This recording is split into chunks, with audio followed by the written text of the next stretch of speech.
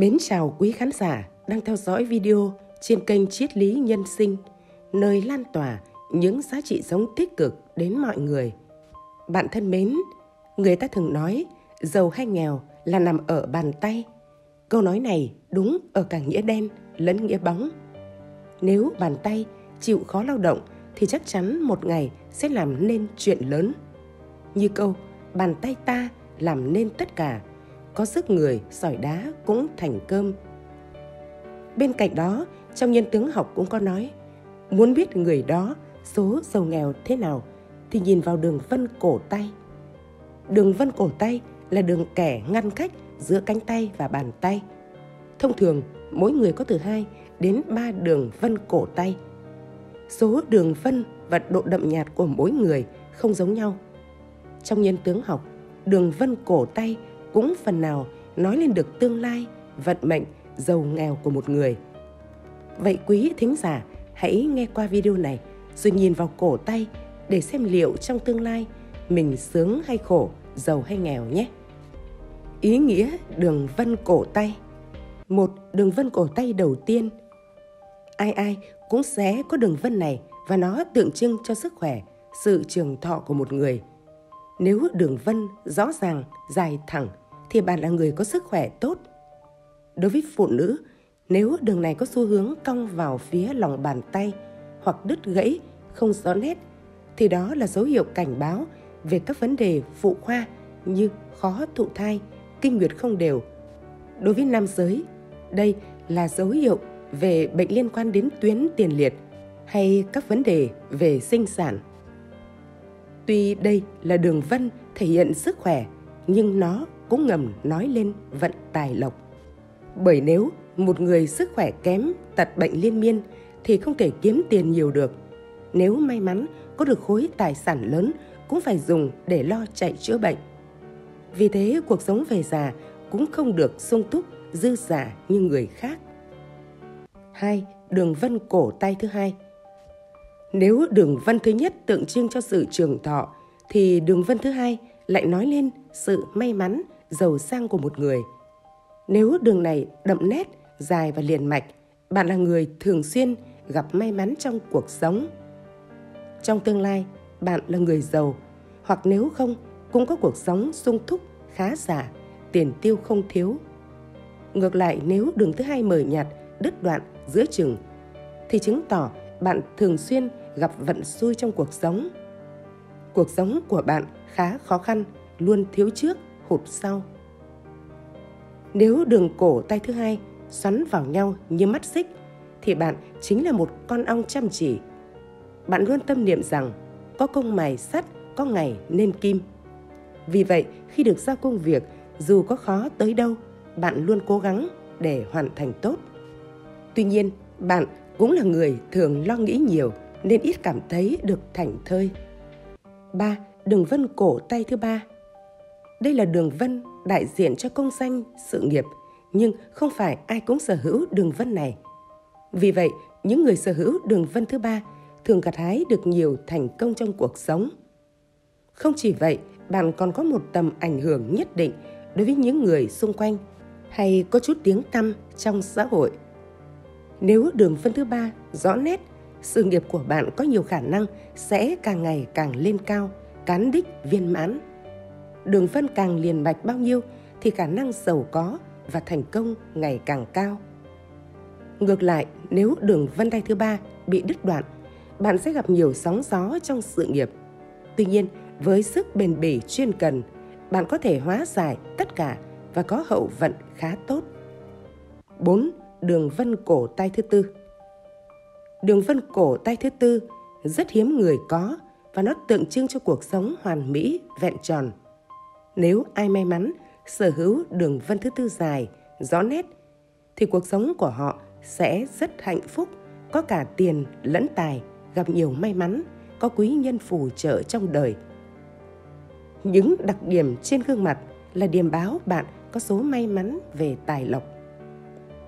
Tài vận của mỗi người ở mỗi độ tuổi khác nhau cũng có thể có những biểu hiện cụ thể khác nhau. Trong nhân tướng học thì tài vận của con người được phân thành ba giai đoạn, đó là thượng đình, trung đình và hạ đình, tức tài vận ở những giai đoạn đầu, giữa và cuối cuộc đời. Vậy, những biểu hiện đặc trưng nào trên khuôn mặt có thể cho thấy rõ ràng nhất tài vận và sự nghiệp của mỗi con người ở mỗi thời kỳ khác nhau? Một, sở hữu ấn đường rộng là người có tài lộc ngay từ giai đoạn thượng đỉnh. Ấn đường là gì? Ấn đường đó chính là khoảng cách giữa hai đầu lông mày, cũng là điểm quan trọng trên khuôn mặt của con người. Theo nhân tướng học thì ấn đường chính là cung mệnh, là phần rất quan trọng. Nó là đại diện cho vận may về phương diện sức khỏe, tâm tư, tình cảm, thu nhập, công việc. Những ai sở hữu ấn đường rộng, tức là khoảng hai đầu ngón tay trùng lại, là những người thành đạt ngay từ những giai đoạn thượng đỉnh, giai đoạn đầu cuộc đời. Họ luôn được quý nhân phù trợ. Những người này luôn có tính cách mạnh mẽ, dày dặn kinh nghiệm từng trải, dám làm, dám chịu, cẩn thận tỉ mỉ và sẽ không bao giờ mắc sai lầm đáng tiếc nào. Về mặt tính cách, những người có ấn đường rộng là người sống có lòng bao dung nhân ái, luôn biết quan tâm, giúp đỡ mọi người. Vì vậy mà mối quan hệ xã hội của họ cực kỳ tốt. Chính lý do này đã làm cho sự nghiệp của họ lên như diều gặp gió ngay từ khi họ còn rất trẻ. 2. Nếu sở hữu mũi dài, cao, rộng và một đôi mắt sáng thì tài lộc sẽ đến với bạn vào giai đoạn trung đỉnh. Phân tích các đặc điểm về tài vận và sự nghiệp của một người ở tuổi trung niên có thể được nhìn thấy từ các đặc trưng mũi và mắt của họ. Theo nhân tướng học thì mũi chính là cung tiền tài. Mũi là phần nổi bật nhất của khuôn mặt. Mũi thể hiện lòng tự trọng, khả năng, địa vị xã hội và cá tính của một người. Mắt là biểu tượng của thứ hạng, trong khi mũi là biểu tượng của sự giàu có. Như vậy, đặc điểm hình dạng của mũi có ảnh hưởng rất lớn đến tiền tài của mỗi con người. Mũi dài tương xứng với chán, chuẩn, đầu tròn, lỗ mũi kín, cánh mũi dày dặn, cân và tương xứng. Nếu có lưỡng quyền cao nữa là báo hiệu người đó có cuộc sống tài chính sung túc. Và nếu người này có nọng cổ to nữa thì luôn sống trong giàu sang, phú quý đến tận về già. Mắt là cửa sổ tâm hồn, thể hiện tâm tư tình cảm và qua đôi mắt, mọi người cũng biết được tính cách và vận mệnh của người đó. Những người sở hữu đôi mắt to, sáng, cân đối, lòng trắng và lòng đen rõ ràng là những người có tài lộc ở giai đoạn trung niên. Những người có múi dài, cao, rộng và thêm vào đó một đôi mắt sáng là những người sống đầy khát vọng tuổi trẻ, tâm hồn trong sáng, luôn biết yêu thương, quan tâm chia sẻ với mọi người, luôn biết vươn lên trong cuộc sống và đặc biệt là biết nắm bắt thời cơ. Bởi vậy mà những ai sở hữu những nét đặc trưng này, tài lộc sẽ chào đón họ từ giai đoạn thượng đỉnh kéo dài đến hạ đỉnh. 3. Nếu sở hữu cằm rộng và tròn thì tài lộc sẽ đến với bạn vào giai đoạn hạ đỉnh.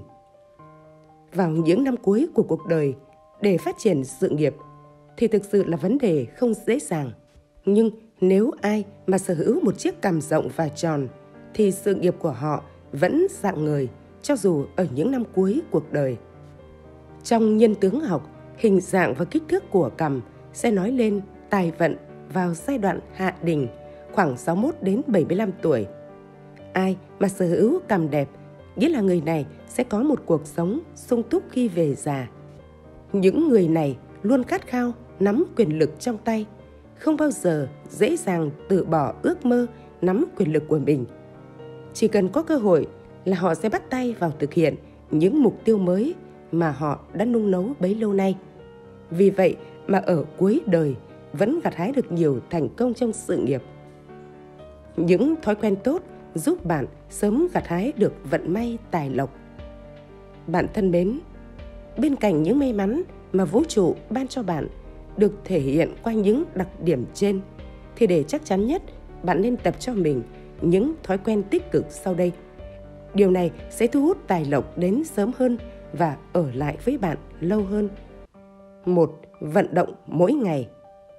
Khi ngày mới lại đến, bạn cần phải tập thể dục hoặc chơi thể thao để có thể tiến hành trao đổi chất tốt hơn, khiến tâm trạng bạn trở nên vui vẻ, thoải mái.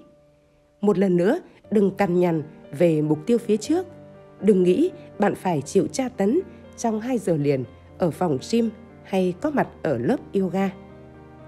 Muốn thu hút tài lộc thì bạn phải có tinh thần và sức khỏe tốt để làm việc hiệu quả. Nếu suốt ngày ủ rũ, sức khỏe yếu ớt, nét mặt nhợt nhạt thì chẳng có ông thần tài nào dám tiếp cận đến bạn. Vì thế, hãy tập thói quen này nhé. 2. Giữ sự tập trung. Bạn nên luôn giữ tập trung và để ý xem mọi người đang nói gì, kể cả khi bạn không có hứng thú với chủ đề đang được đề cập đến. Hãy bỏ điện thoại ra và cố gắng tập giao tiếp bằng mắt với đối tác. Đó cũng là một phép lịch sự tối thiểu khi trò chuyện. Sự tập trung sẽ giúp bạn dễ thành công hơn trong cuộc đời. Chẳng phải có câu nhất nghệ tinh, nhất thân vinh, một nghề thành thạo, một đời vinh hiển đó sao?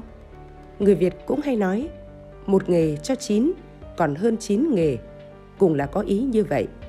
Tập trung bao giờ cũng tốt hơn phân tán. 3. Giữ lòng trung thực.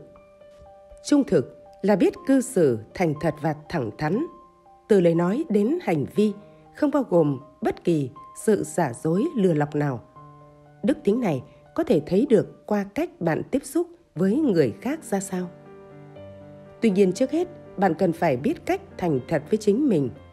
Học cách chấp nhận những ý nghĩ và cảm xúc của chính mình sẽ giúp bạn trở thành một con người trung thực hơn trong cuộc sống. 4. Không tự cao, tự đại. Những người có tính khoe mẽ thường nghĩ rằng điều đó sẽ giúp hình ảnh của họ tốt đẹp hơn trong mắt người khác. Nhưng thực tế diễn ra hoàn toàn ngược lại. Người ta có tính tự cao, tự đại là vì không thể nhìn ra điểm tốt của người khác, cho rằng ai cũng không bằng mình, chính là không thấu hiểu người khác. Khi là người quá đề cao bản thân, dù là trên mạng xã hội hay là ngoài đời thực, bạn cũng sẽ thường vô tâm và đánh giá thấp những người quanh mình. Điều này sẽ khiến bạn tự cô lập bản thân, ngày càng rời xa các mối quan hệ, tự khép mình trong táp ngà tự kiêu của mình. Cô lập, tự tách rời khỏi xã hội, bạn sẽ bỏ qua những cơ hội phát triển bản thân và sự nghiệp tốt đẹp nhất. 5. Quan tâm đến người khác. Một người tốt chính là luôn quan tâm, lo lắng cho người khác. Họ rất nhạy cảm khi nghe đến những khó khăn của người xung quanh. Họ sẵn sàng làm hết sức để giúp đỡ. Quan tâm tới những người khốn khó là một trách nhiệm hết sức cần thiết của toàn thể xã hội và trên hết giúp đỡ mọi người cũng chính là giúp đỡ chính mình. Quý thính giả thân mến, sau khi nghe qua video trên, bạn thấy mình có mấy đặc điểm của tín hiệu may mắn về tài lộc? Nếu có thì chúng tôi xin chúc mừng bạn, nếu không có thì cũng chẳng sao. Chỉ cần hết sức phấn đấu và tích lũy phước đức thì vận may của bạn sẽ sớm thay đổi theo chiều hướng tích cực. Đến đây thì thời lượng của triết lý nhân sinh cũng xin được tạm dừng. Chúng tôi xin kính chào và hẹn gặp lại.